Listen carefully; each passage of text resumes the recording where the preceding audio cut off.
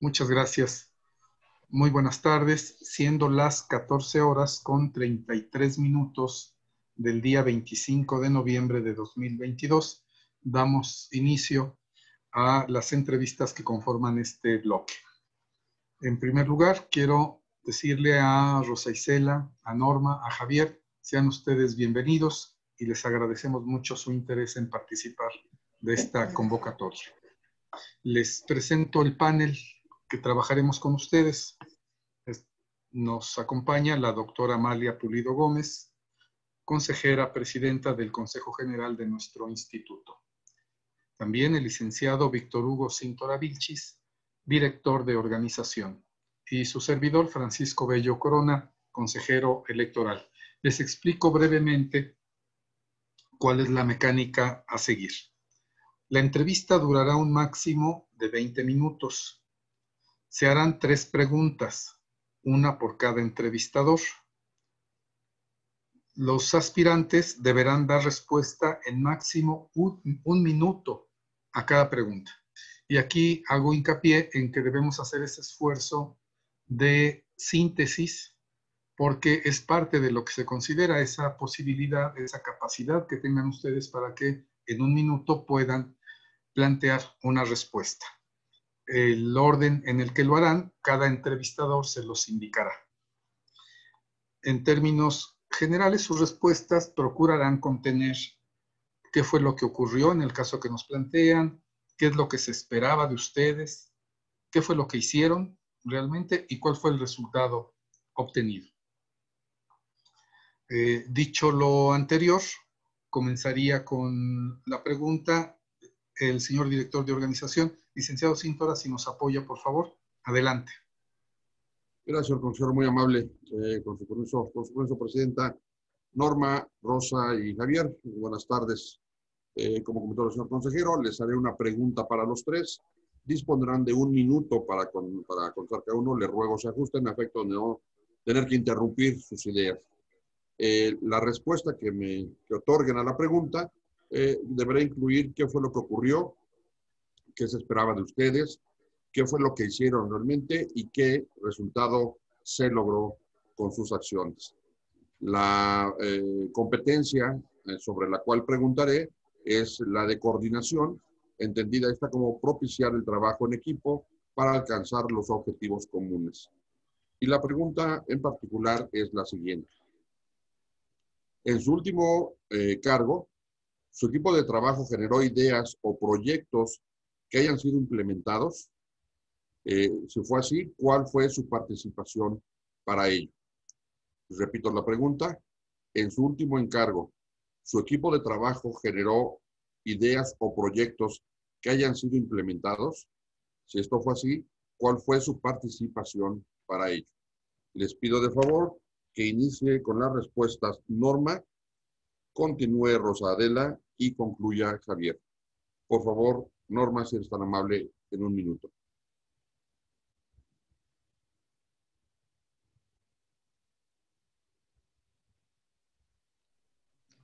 Eh, buenas tardes, director. Este, sí, eh, cuando llegué a participar siendo este, coordinadora de logística directamente en una dirección, me pidieron el apoyo para crear lo que fue, junto con el equipo de trabajo con el que estaba, unos lineamientos para los eventos de cultura política democrática, eh, que les iban a servir de apoyo directamente a cada uno de los órganos desconcentrados que tenían la encomienda de llevar a cabo dentro de sus municipios y sus distritos esos eventos de cultura política democrática.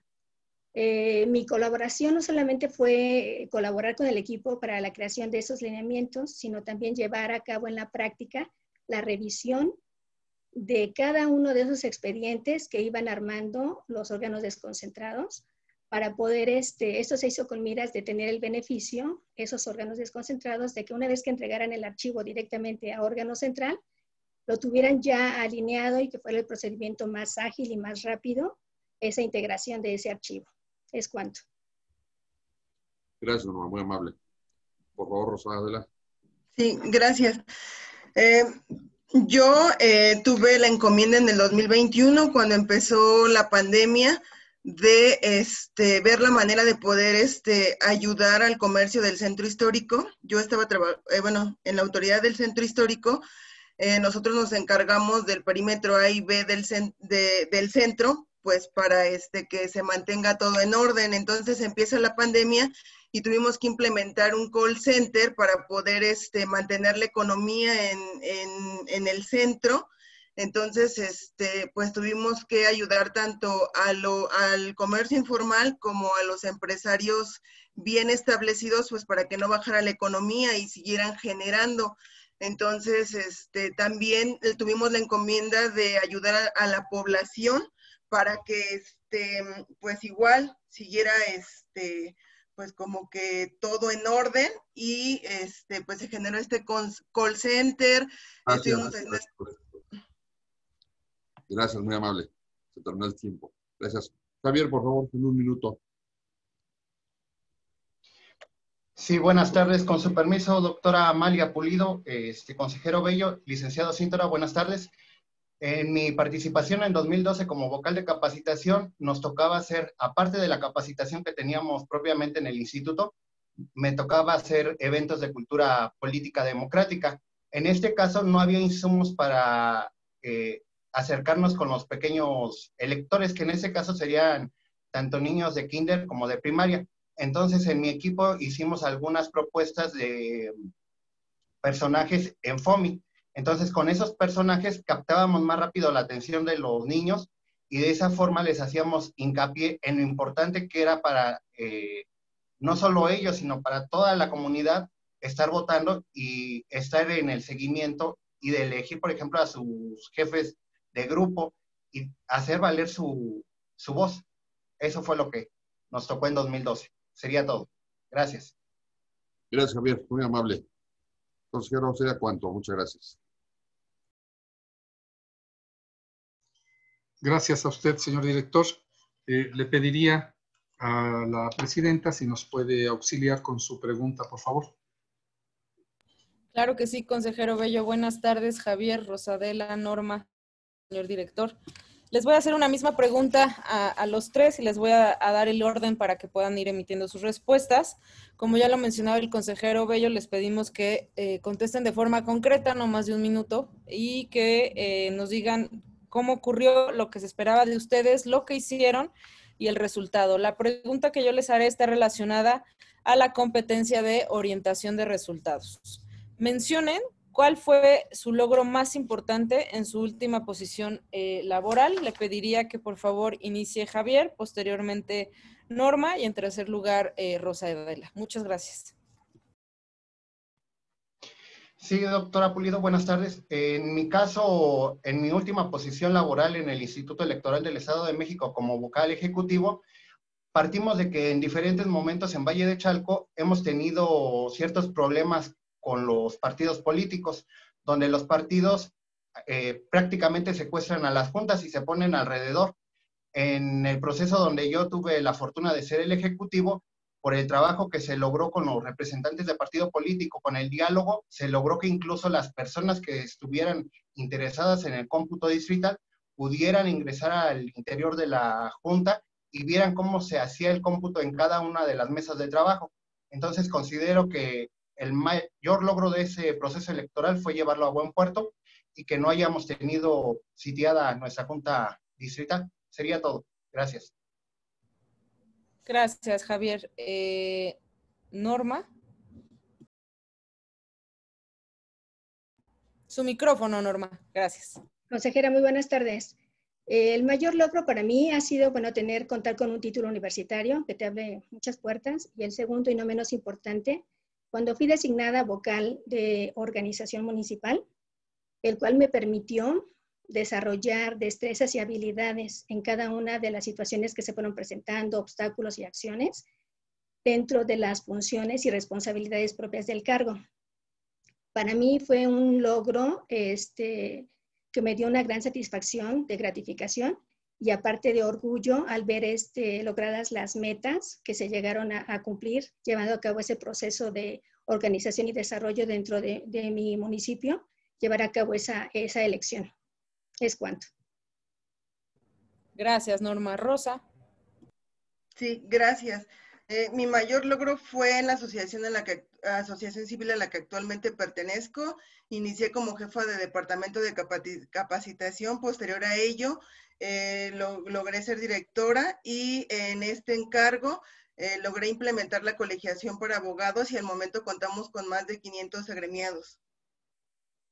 ¿Es cuánto? Gracias. Por mi parte sería todo, consejero. Muchas gracias, presidenta. Eh, me corresponde a mí ahora formular la siguiente pregunta. El área temática que nos corresponde analizar es apego a normas y procedimientos. Apego a normas y procedimientos. La pregunta concreta es la siguiente. ¿Han realizado alguna propuesta para resolver la falta de marco normativo en alguno de sus eh, empleos previos? Reformulo la pregunta. ¿Se encuentran ustedes ante una situación que el marco normativo es insuficiente, es incompleto o incluso equivocado? ¿Ustedes han podido hacer una, alguna propuesta? Y si no les ha pasado, ¿qué harían si se presentara ese supuesto? Le voy a pedir a Norma primero, después Rosa Adela y al final Javier que emitan su respuesta. Adelante, Norma, por favor, en un minuto. Claro que sí, consejero. Eh, participando como vocal este, de organización municipal, eh, en el momento de, la, de lo que fue eh, la integración de paquetes electorales con la documentación, en una reunión que tuvimos tanto el vocal ejecutivo como en mi caso yo como vocal de organización y con personal auxiliar de la Junta, nos dimos cuenta que nuestra experiencia en campo, que ya habíamos sido varios de nosotros capacitadores, que habíamos sido instructores y habíamos visto en campo cómo se les dificulta a los funcionarios de mesa directiva de casilla integrar un paquete electoral de manera adecuada y más cuando son elecciones concurrentes, donde está el ámbito federal y el ámbito local, a las personas, o sea, se les hace un mundo de documentos y, y de materiales lo que tienen. Entonces, estábamos en esa integración del paquete electoral, lo comentamos y tratamos de, a través de nuestro coordinador de capacitación, se subió esa situación a la dirección de organización y llegó de hecho esa situación que nosotros queríamos implementar a, directamente a Secretaría Ejecutiva. Desgraciadamente, pues bueno, se les comentó al equipo de trabajo que no se iba a hacer de esa manera como nosotros lo habíamos visualizado. ¿Por qué? Porque teníamos que hacer, que sujetarnos a esa normatividad que ya estaba dispuesta así, de esa manera. Entonces no pudimos integrar. Al contrario, gracias a usted, consejero. Muchas gracias. perdón por interrumpirle, pero es el mismo tiempo para, todos. Gracias, consejero. Muchas gracias. Le pido ahora, le pido ahora a Rosadela que nos esboce su respuesta, por favor. Sí, es respecto a la institución donde desempeñaba mi trabajo, que fue la autoridad del centro histórico. Este, al principio, como autoridad del centro histórico, se tenía este, la facultad precisamente de ser autoridad para prevenir, preservar y garantizar la seguridad de los habitantes del centro histórico. Posterior a, esta creación, eh, años después, hay un modificatorio donde nos limitan facultades y únicamente ya la autoridad se limita este, a actividades culturales y este, preservar únicamente este, los inmuebles que están considerados como patrimonio cultural de la humanidad.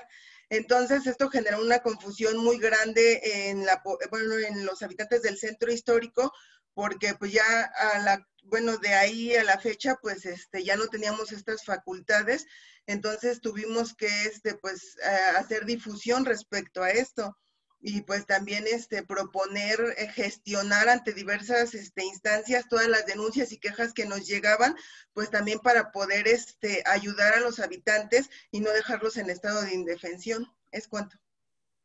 Muchas gracias, Rosadela. Por último, Javier, si nos puede brindar su respuesta, por favor. Sí, buenas tardes, consejero Corona. Este, Corona. No, Bello. Este, sí, en este caso, el ejemplo que pongo es como ciudadano. Eh, a una dependencia le requería información sobre denuncias de determinado funcionario.